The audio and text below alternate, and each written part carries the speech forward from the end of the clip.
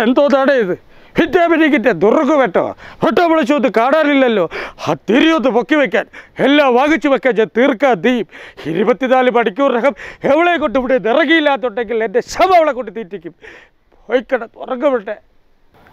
Hi നമസ്കാരം. നിങ്ങളുടെ സ്വന്തം ജഗദീഷ് പ്രസാദ്. ഈ സ്റ്റേജ് കലാകാരന്മാരുടെ ഒരു പ്രത്യേകത എന്ന് പറയുമ്പോൾ അന്നന്ന് കിട്ടുന്ന പൈസയാണ്. അത് നമ്മൾ കൂലിപ്പടി പോലെയാണ്. അന്നന്ന് കിട്ടുന്ന പൈസ വെച്ച് ഓരോന്ന് അഡ്ജസ്റ്റ് ചെയ്യും. ചിലപ്പോൾ ഒരു മാസത്തിൽ ഒരു അഞ്ച് പരിപാടി കിട്ടും ചിലപ്പോൾ ഒരു പത്ത് പരിപാടി കിട്ടും. അത് വെച്ച് ജീവിച്ച് വന്നുകൊണ്ടിരുന്ന സമയത്ത് പെട്ടെന്നൊരു കുരുക്കിങ്ങനെ വരുമ്പോൾ നമുക്കൊരു ഒരു അടിയല്ല. അതിന് എന്ത് പറയണം എന്ന് എനിക്കറിയില്ല. അപ്പോൾ ആ ഒരു അവസ്ഥയിലോട്ടാണ് നമ്മൾ മാറിയിരുന്നത്. സത്യം പറഞ്ഞ ഞാനും കൂലിപ്പണിക്കൊക്കെ പോയി ആശാരിപ്പണിക്കും അതുപോലെ തന്നെ പെയിന്റിങ്ങിന്റെ പണിക്കും കോൺട്രാ പിന്നെ കോൺട്രാക്ടറുടെ കൂടെ നമ്മുടെ വാർക്കപ്പണിക്കൊക്കെ ഒത്തിരി പോയിട്ടുണ്ട്. അത് നമ്മുടെ നാട്ടുകാർക്ക് അറിയാം അതുകൊണ്ട് എനിക്കൊരു ഗുണം കിട്ടിയെന്ന് പറഞ്ഞാൽ നമ്മുടെ നാട്ടിലുള്ള ഒരാളുടെ പോയി പെട്ടെന്ന് ഒരു അഞ്ഞൂറ് രൂപ വേണമെന്ന് ചോദിച്ചാൽ അവർ തരും. കാര്യം ചിലപ്പോൾ പണിക്ക് പോകുന്നുണ്ട്.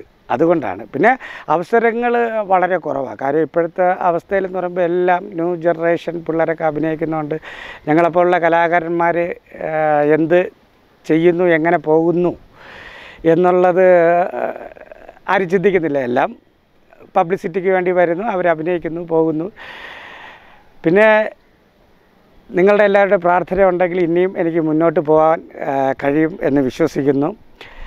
പിന്നെ ഇപ്പോൾ ഞാൻ ഏകദേശം ഒരു മുപ്പത് വർഷമാകുന്നു ഈ കലാഫീൽഡിലേക്ക് വരുന്നത്. അപ്പോൾ ഈ കലാഫീൽഡിലേക്ക് വന്നതിന് ശേഷം എനിക്ക് കുഴപ്പമില്ലാതെ മുന്നോട്ട് വന്നുകൊണ്ടിരുന്നതാണ്. അത് കോവിഡിന് തൊട്ട് മുമ്പ് വരെയും അത്യാവശ്യം കുഴപ്പമില്ല. സ്റ്റേ നമുക്ക് ഏറ്റവും കൂടുതൽ എന്ന് പറഞ്ഞാൽ നമ്മളെപ്പോലെ കലാകാരൻ മിമിക്രി കലാകാരനായിട്ടാണ് ഞാൻ ഈ സിനിമയിലും സീരിയലിലും എത്തുന്നത്.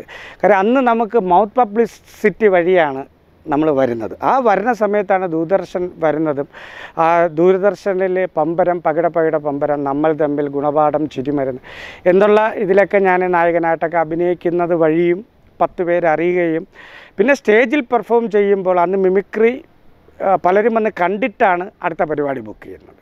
ഇപ്പോൾ അതല്ല. ഇപ്പം ഈ മിമിക്രി കലാകാരന്മാർക്കായിരുന്നാലും ഒരു കലാകാരന് അവന്റെ കഴിവ് തെളിയിക്കാനുള്ള പ്ലാറ്റ്ഫോം ഇഷ്ടം പോലെയുണ്ട് മീഡിയയിലുണ്ട്. സോഷ്യൽ മീഡിയയിലുണ്ട്.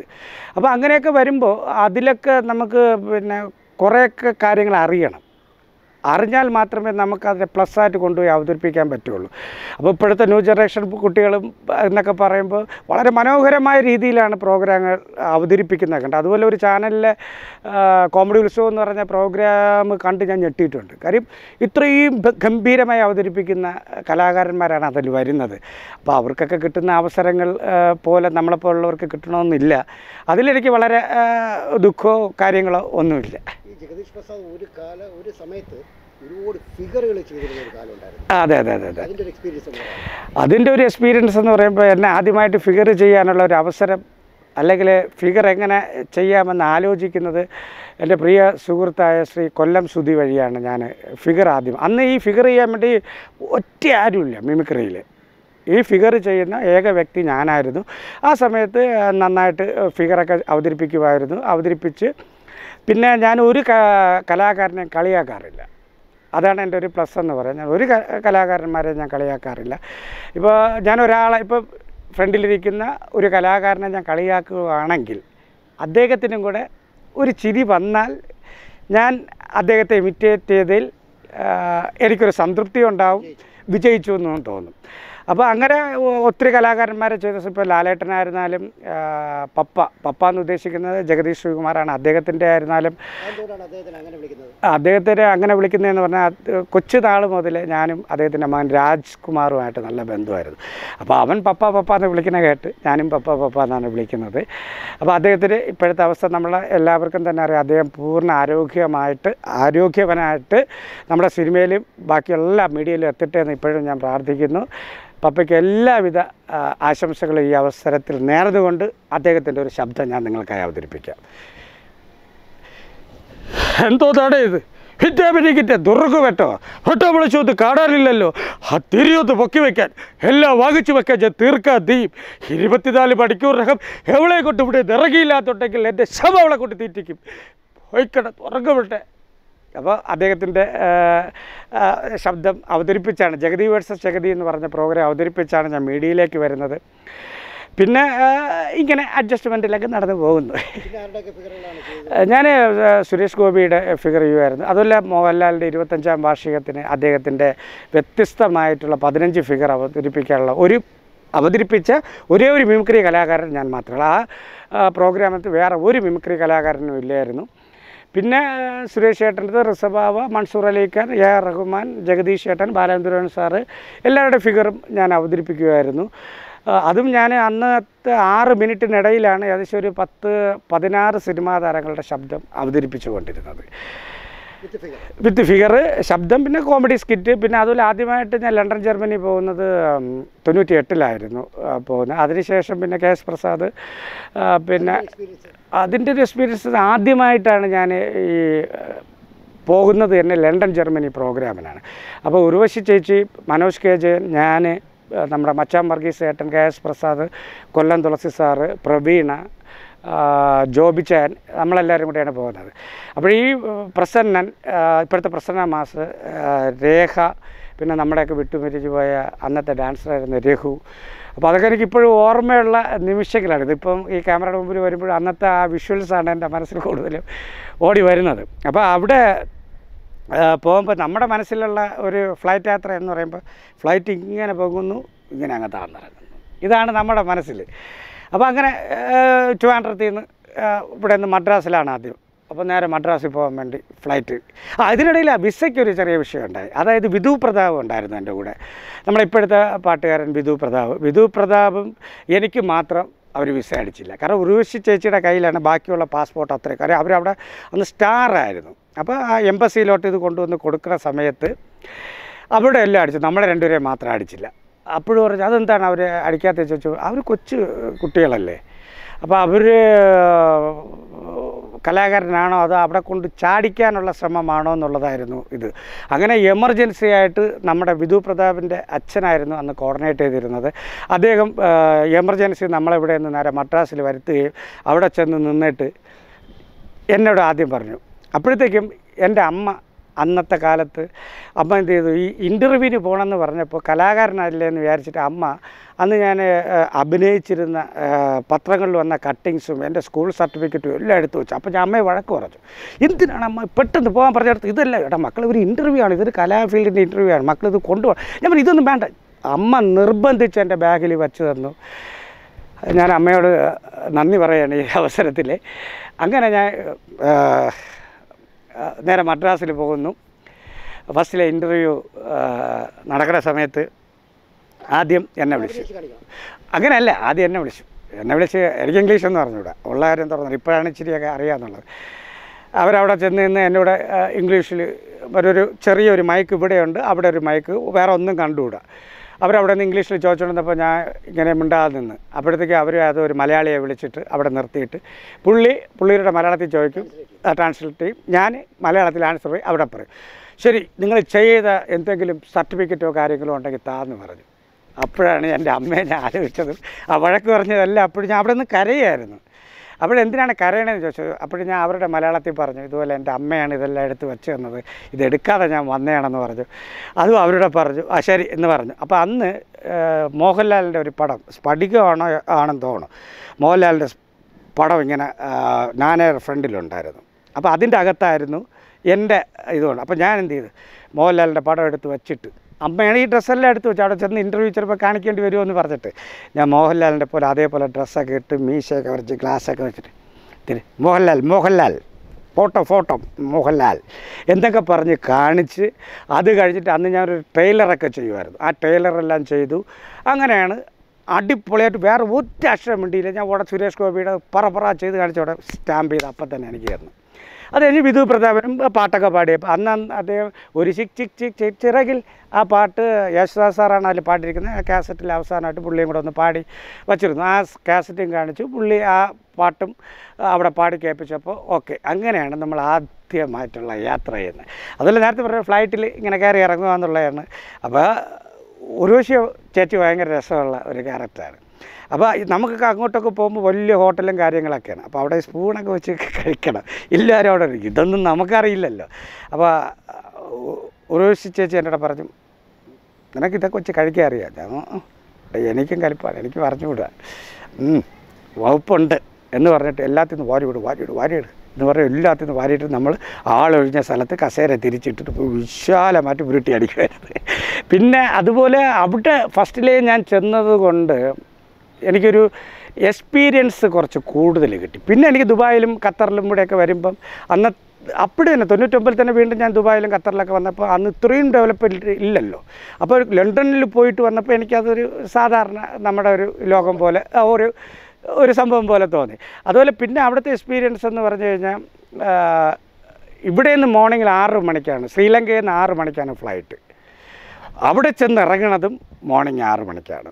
പല്ല് തേക്കിടോ കക്കൂസി പോകണോ എന്ത് ചെയ്യണമെന്ന് ഒരു പിടുത്തമില്ലാത്ത ഒരു അവസ്ഥയിലാണ് പോയി ഇറങ്ങണത്. അപ്പോൾ ഇവിടുത്തെ നൈറ്റാണ് നമ്മൾ അവിടെ പോയി ഇറങ്ങണത്. അവിടെ പോയി ഇറങ്ങുമ്പോൾ ഇപ്പോൾ നമ്മൾ ആളുടെ വർത്തമാനം പറയിക്കണേ പക്ഷേ നമ്മൾ ഉറങ്ങിയാണ് ഇരിക്കുന്നത്. ആ ശരി ചേട്ടാ ഓ. ആ ആ, കാര്യം ആ ഡ്യൂറേഷൻ തിരിച്ച് വര അഡ്ജസ്റ്റ്മെന്റ് ഇത്തിരി പാടായിരുന്നു. പിന്നെ നമ്മളിപ്പോൾ ഇവിടെ നിന്ന് ട്രിവാൻഡ്രത്ത് നിന്ന് പോയി പെട്ടെന്ന് ഇറങ്ങി. അടുത്ത് മദ്രാസിൽ നിന്ന് പോയി ശ്രീ ശ്രീലങ്ക പെട്ടെന്ന് ഇറങ്ങി. അപ്പോൾ അതേപോലെ മനസ്സിൽ ആലോചിച്ചാൽ ഈ ഫ്ലൈറ്റിലും കയറണം ഞാൻ. അന്നത്തെ ഇരുപത്തിരണ്ട് മണിക്കൂർ ഒറ്റയടിക്ക് ഫ്ലൈറ്റ് ഇരിക്കേണ്ടി വന്നു. അതൊരു എക്സ്പീരിയൻസ് എന്റെ മോനെ ഒരു എക്സ്പീരിയൻസ് തന്നെ അത്. അതും ആദ്യമായിട്ട്. എന്റെ അടുത്തിരിക്കുന്ന നല്ല ഗഡിയാണ് അടിക്കുന്നത് പ്രസന്നെ അപ്പോൾ എന്നെ ഇട്ട് പറയും ഇപ്പം നോക്കിക്കോ കടകട അടിക്കും.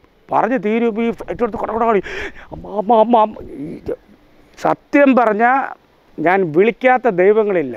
പിന്നെയാണ് ഇവർ പറയണത് ഇത് ഇരുപത്തിരണ്ട് മണിക്കൂർ ഒറ്റയടിക്ക് പോകും പിന്നെ അവർ നിർത്താൻ പറ്റുമോ ഇറങ്ങി വരാൻ പറ്റുമോ മറ്റേ ജൈൻ വീലാണെങ്കിൽ പോലും കയറി കഴിഞ്ഞാൽ പേടിയാണ് നിർത്ത് നിർത്തുന്ന് പറഞ്ഞാൽ അവ എങ്ങനെയെങ്കിലും നിർത്തി നമ്മളെ ഇറക്കി വിടും. ഇത് അതും പറ്റില്ല ഇരുന്നേ പറ്റുള്ളൂ. പിന്നെ അങ്ങോട്ടുള്ള യാത്രയിൽ പിന്നെ എനിക്ക് ഏറ്റവും കൂടുതലൊരു ഗുണം കിട്ടി ഇംഗ്ലീഷ് ചാനൽ വഴി. കപ്പലിൽ എനിക്ക് യാത്ര ചെയ്യാനുള്ള ഒരു അവസരവും കൂടെ ഭഗവാൻ അന്ന് തന്നു. അതാണ് എനിക്ക് ഏറ്റവും വലിയ ഒരു സന്തോഷമായിട്ട് തോന്നിയത്. കാരണം ഏറ്റവും വലിയ ഹെവി ആയിട്ടുള്ള കപ്പലിൽ കൂടെ യാത്ര ചെയ്യാനുള്ള ഒരു അവസരം ഈശ്വരൻ തന്നു. അതിൽ നമ്മൾ ലണ്ടനിൽ പ്രോഗ്രാം കഴിഞ്ഞിട്ട് ലണ്ടൻ ടു പാരീസിൽ പോയി. പാരീസിൽ നിന്നാണ് നമ്മൾ ജർമ്മനി പോയത്.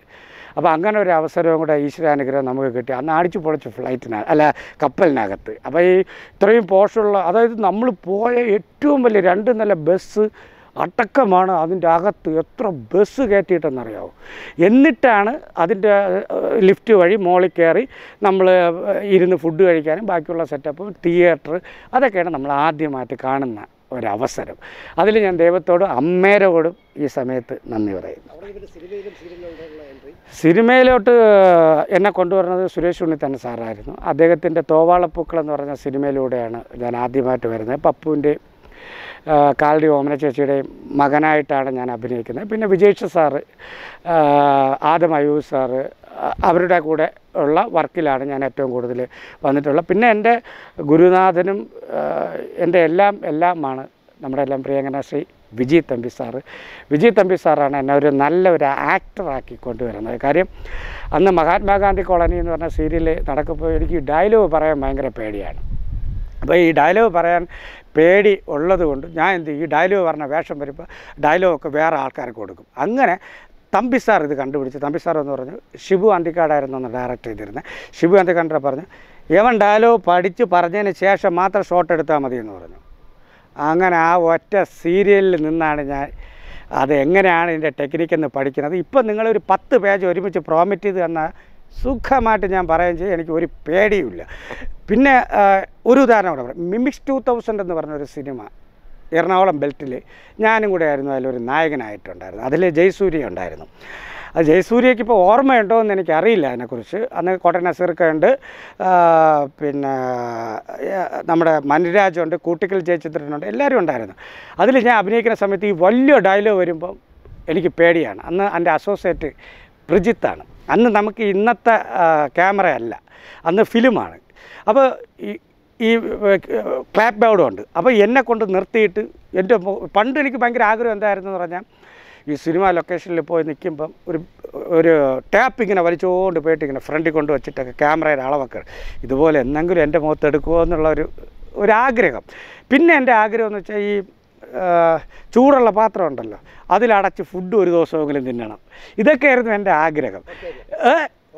ഓ ഹോട്ട് കാരിയർ അതിൽ ഫുഡൊക്കെ വെച്ച് തിന്നണം. ഇതൊക്കെയായിരുന്നു ആഗ്രഹം. അത് ആ സിനിമ കൊണ്ട് സഹായിച്ചു കാര്യം ഇങ്ങനെ ഇതും കൊണ്ട് ഇങ്ങനെ കൊണ്ട് അളന്ന് ഇവിടെ വച്ചിട്ട് ക്യാമറ വൺ മറ്റേ ത്രീ ടോപ്പ് ടപ്പോ ഒരു അടി അടിക്കും. അവിടെ ബ്രൂറെന്ന് സൗണ്ട് കേട്ട് ഓടുമ്പോൾ എന്റെ നെഞ്ചു പിടിക്കും. എന്റെ ഡയലോഗും അങ്ങ് പോകും അപ്പോൾ അങ്ങനെ പേടിച്ചുകൊണ്ട് ഞാൻ എന്റെ ഡയലോഗുകളെല്ലാം നമ്മുടെ ജയസൂര്യയ്ക്ക് കൊടുത്തിട്ടുണ്ട്. അത് പുള്ളിക്ക് ഓർമ്മയുണ്ടോ എന്ന് എനിക്കറിയില്ല. അതിന്റെ അസോസിയേറ്റ് ബ്രിജിത്തിന് അതറിയാം. ഞാൻ ബ്രിജിത്തിന് ഫസ്റ്റിൽ ലൊക്കേഷൻ ചെന്നവിടെ ആദ്യം പറയണേ വലിയ ഡയലോഗ് അത്രയും ജയസൂര്യയെ കൊടുക്കണേ. മറ്റേ ചെറുതൊക്കെ മതി. എന്ത് ഇത്രയും നല്ല ഡയലോഗ് കിട്ടിയിട്ട് നിങ്ങൾ ചെയ്യുക അണ്ണാ എനിക്ക് അവിടുത്തെ അടിയും പുറ സൗണ്ടും എല്ലാം കൂടെ കേൾക്കുമ്പോൾ എന്റെ കയ്യിൽ നിന്ന് പോകും അങ്ങനെ പറ്റിപ്പോ അതുകൊണ്ട് അല്ലല്ല പറ്റില്ല നിങ്ങൾ പഠിക്കും. എന്നാ പറയുക സ്ക്രിപ്റ്റ് തരും.